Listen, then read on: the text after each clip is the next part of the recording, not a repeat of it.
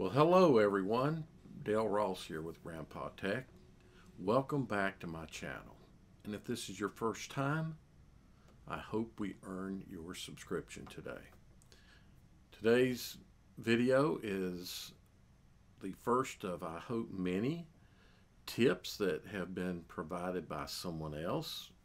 I discussed it with them and told them I would do this. This one is Luis Tips number one black screen. So watch this about the message, then we'll come back and tell you a little more. Okay, so we get this message in a telegram, and he's got a link and a must have app for us, he said. So I responded, Why is it must have? I'm reading. When I have my Duo 2 mounted in my car, I don't need to fold my screen anymore. I just open the black screen app on the screen I'm not using, saving battery life and the screen's health. Understood. And someone else asked, can you not just lock the device? And his response was, no, because I'm using maps on one screen. So some of us have um, Android Auto, and we don't need this. So our device can remain folded and everything's displayed up on uh, our head unit. But many of you do not have that. So this is good for you. Okay.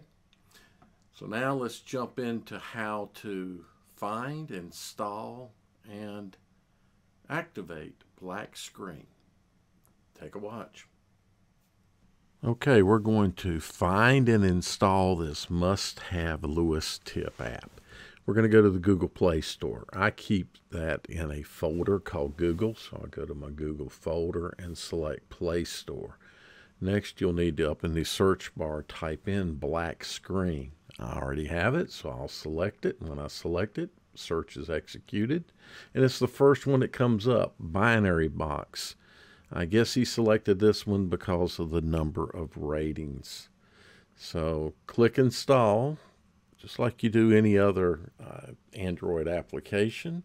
While I wait, my friends tell me I have an intimacy problem, but they don't really know me. After you stop laughing, toss the Play Store out of the way. We don't need it anymore.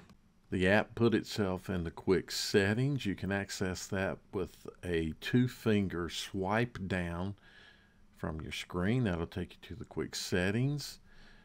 It looks like my uh, flashlight got turned on. Uh, go down to the uh, pencil icon to edit, and then you want to scroll that screen all the way down to the bottom.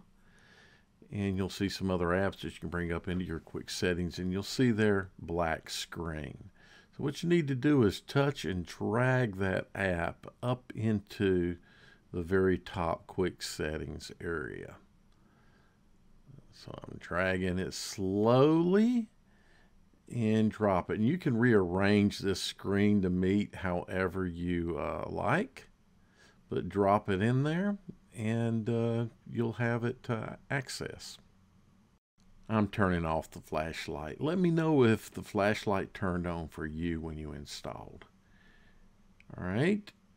Now here, here in the quick settings, I'm just going to scroll over. You'll see where I added black screen. And all you have to do is uh, select that and you'll have a black screen. And then you can drag that screen to whichever side you want the guess is is that you would orient that left screen uh, horizontally and put maps on there with this right hand screen blanked out. I would want my device in my car mounted in what is called laptop mode, which would be the screens at 90 degrees to each other. Uh, so that maps are horizontal and uh, you can, your bottom screen would be blanked out. So you're conserving battery. And of course, this middle area here is where the uh, hinge is located. Okay, hopefully this tip uh, helps you. If you found that helpful, please give it a thumbs up. Give us some comments down below. You got some tips, share them. uh, and share this video so others can see it and uh, subscribe. And again, thanks for watching. Hope to see you in the next one.